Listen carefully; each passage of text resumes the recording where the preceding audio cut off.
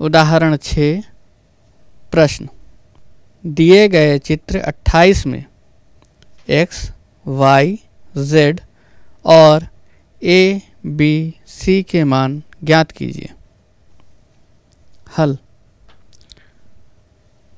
चित्र से स्पष्ट है y बराबर 110 अंश क्योंकि 110 अंश के कोण के साथ y संगत कोण है।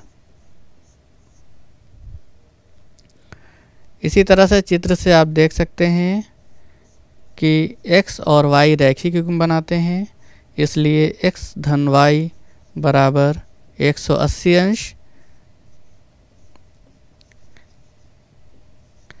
रैखिक युग्म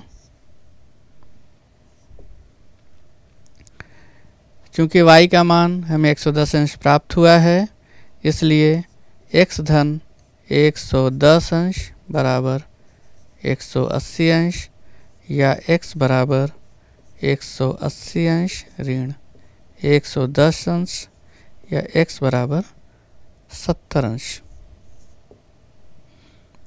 पुनः चित्र में आप देखेंगे कि कोण z जो है, वो कोण x के साथ संगत कोण बनाता है? यानी कोण z और कोण x संगत कोण है, इसलिए z और x का मान बराबर होगा और इसलिए z बराबर भी सत्तर अंश।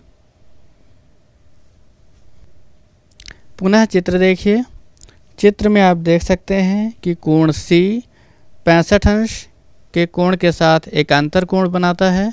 अतः हम लिख सकते हैं कोण C बराबर पैंसठ अंश, क्योंकि ये पैंसठ अंश के साथ एकांतर कोण बनाता है।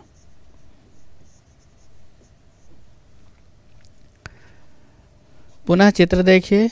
चित्र में आप देख सकते हैं कि कोण ए और कोण सी रैखिक युग्म कोण है, इसलिए ए धन सी बराबर हम लिख सकते हैं 180 अंश, क्योंकि ये रैखिक युग्म कोण है।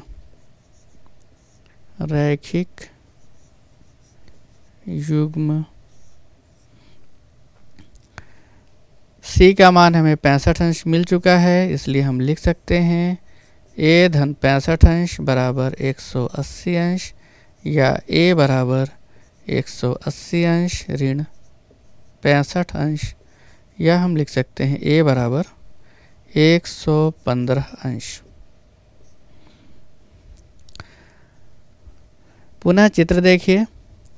चित्र में आप देख सकते हैं कि कोण बी और कोण सी शीर्षाभिमुख कोण है।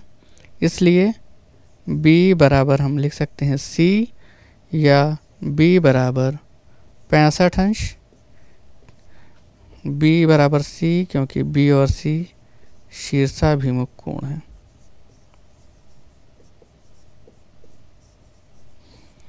इस तरह से हमें कोण एक्स वाई जेड और ए बी सी के मान मिल गए। इनके मान इस तरह से हैं। ए बराबर 115 अंश बी बराबर पैंसठ अंश सी बराबर पैंसठ अंश एक्स बराबर सत्तर अंश वाई बराबर 110 अंश और z बराबर सत्तर अंश